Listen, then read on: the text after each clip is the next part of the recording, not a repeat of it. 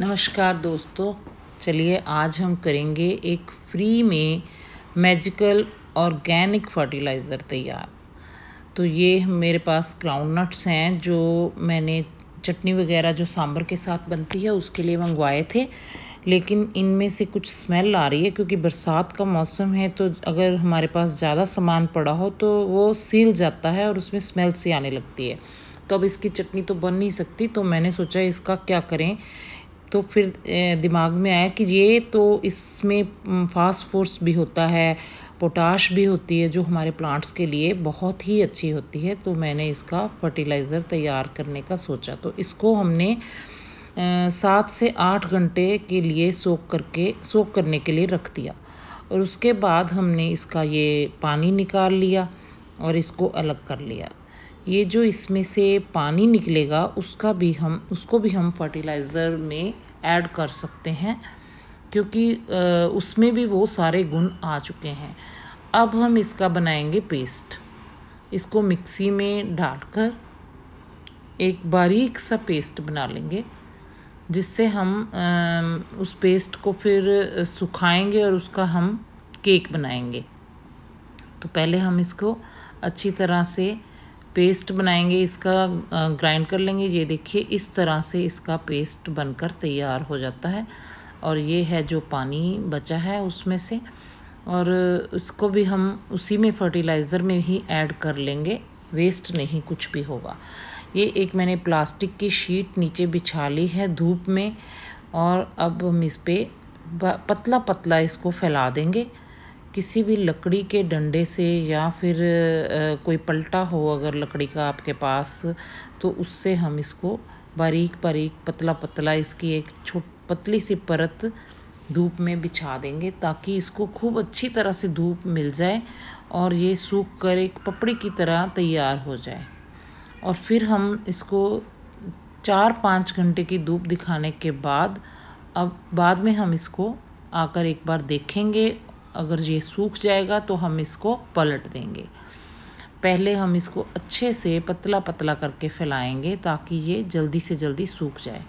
ये देखिए, इस तरह से एक पतली सी परत मैंने इसकी बिछा दी है और ये देखिए, दो घंटे के बाद मैं आई हूँ देखने के लिए तो ये किनारों किनारों से सूखना शुरू हो गया है और बीच बीच में से भी कई जगह सूख गया ये देखिए, अब इस, ये चार घंटे के बाद का रिज़ल्ट है और अब ये काफ़ी हद तक सूख चुका है। अब हम इसको पलट कर देखते हैं। ये देखिए, पलट के देखो तो नीचे से थोड़ा सा गीला है और बाकी सारा सूख चुका है ये। अब सारा हम इस धीरे धीरे करके पलट देंगे, ताकि इसको नीचे से भी दो घंटे की धूप कम से कम, दो से तीन घंटे की धूप इसको नीचे वाले इसके पार्ट को भी मिल सक मिल सके।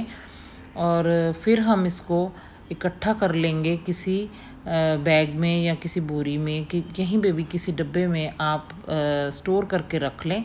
जब भी आपको फर्टिलाइज़र बनाना हो तो वो मैं आपको बताऊँगी इसको कितनी मात्रा में कितने पानी में कितनी मात्रा में डालना है आपने।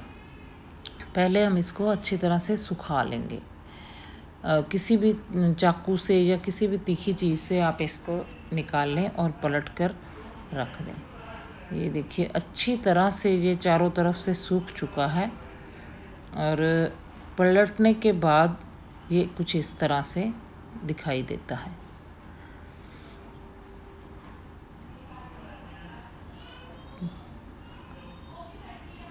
ये अब इसको दो तीन घंटे के लिए फिर से छोड़ देंगे हम।